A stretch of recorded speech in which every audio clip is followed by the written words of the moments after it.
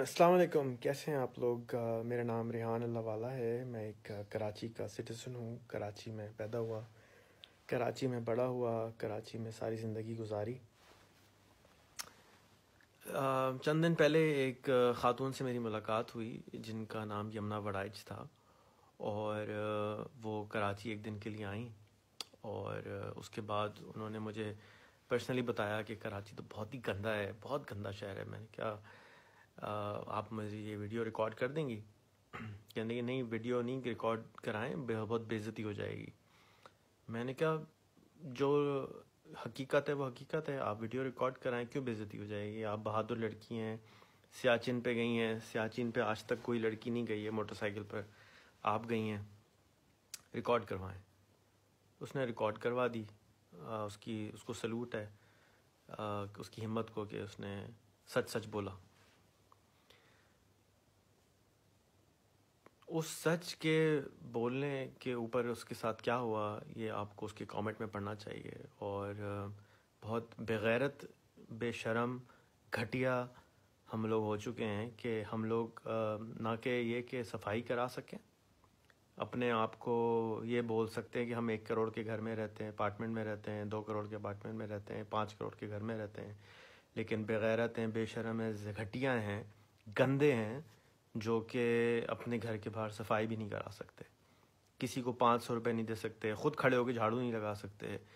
کیوں؟ میں تھوڑے دن میں پخانہ دھونے کے لیے بھی جو ہے کسی کو بلائیں گے اور کہیں گے کہ جی ہمارا پخانہ بھی نا گورنمنٹ سے کہو صفائی کرے۔ اور ٹیشو پیپر بھی صفائی کیا کرے اور پانی بھی ہمارے اندر ہاتھ ڈال کے دھویا کہ بھی کرے۔ بے شرم ہو چکے ہیں ہمارے لوگ۔ گھٹیا ہو چکے ہیں۔ بولتے ہیں صفائی نصف ایمان ہے۔ میں آپ کو ایک قصہ سناتا ہوں، ایک صاحب کا۔ مسلمان ہونے کے لیے ایک صاحب آئے جرمنی سے پاکستان۔ اور وہ ایک مدرسے میں جب وہ جانے لگے، اندر گئے، تو باہر انہوں نے دیکھا کہ بہت کچرا پڑا ہوا ہے۔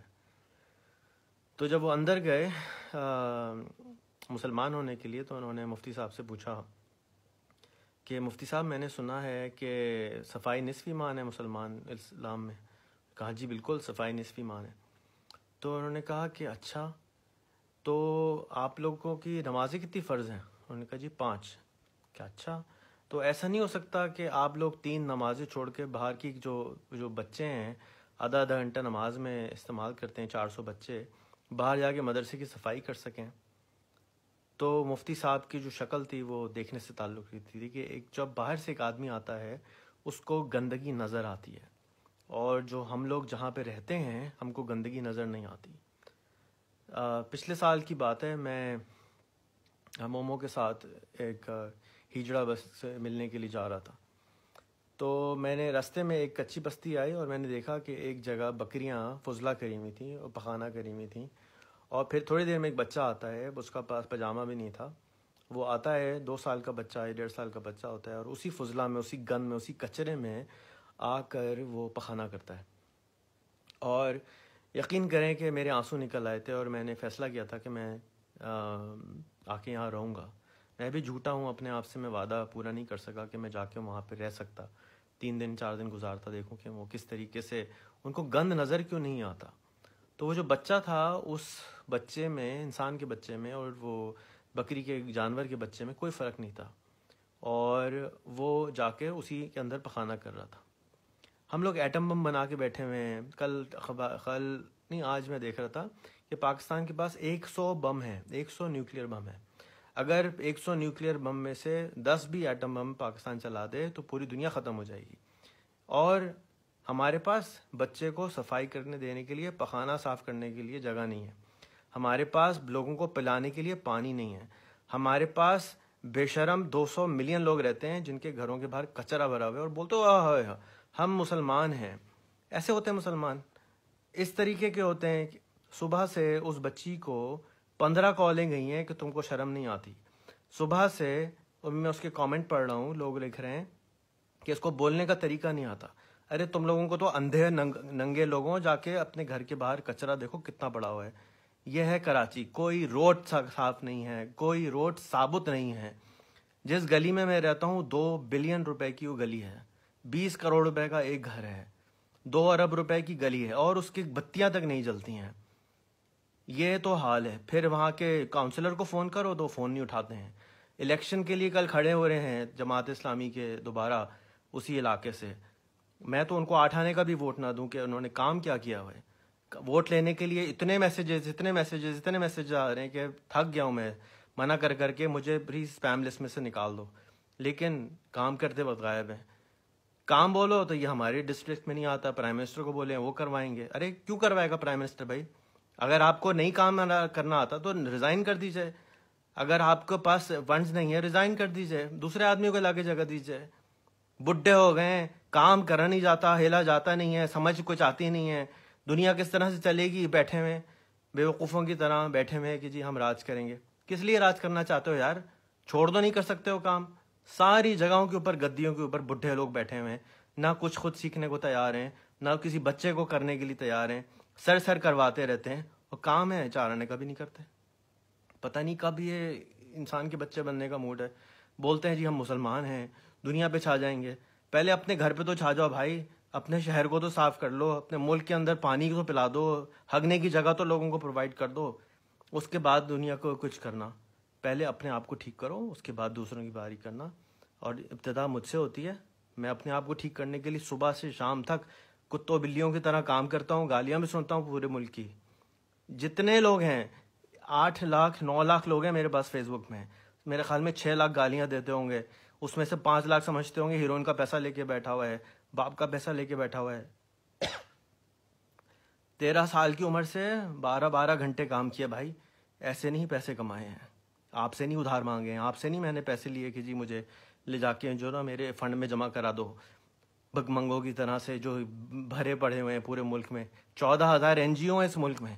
ایک گٹر صاف کرنے کے لیے بھی این جی او اور بنا لو۔ بہرحال آج کے لیے میرے خیال میں ڈوز کافی ہے۔ آپ کسی کو بے غیرت ہیں، بے شرم ہیں، گھٹیاں ہیں، گندے ہیں میری باتوں کا کہاں اثر ہوگا؟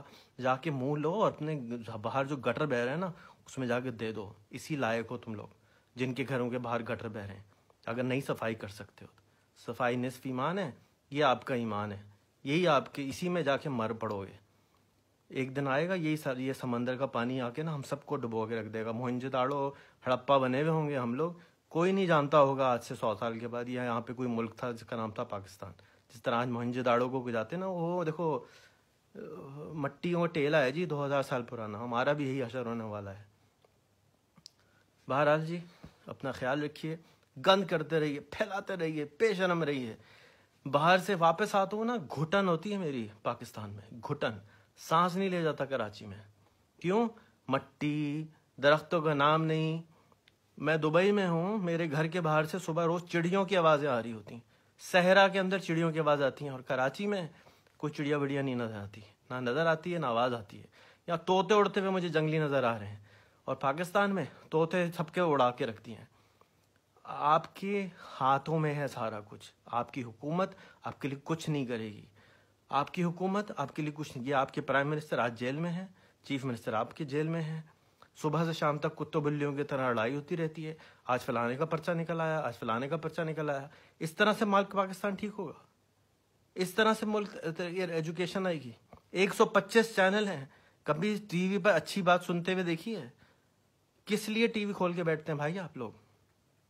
بند کر دو ٹی وی کو، انٹرنیٹ لگا کے بیٹھ جاؤ، کچھ سیکھ لو خدا کے واسطے۔ پتہ نہیں میری تو سمجھ سے باہر ہے۔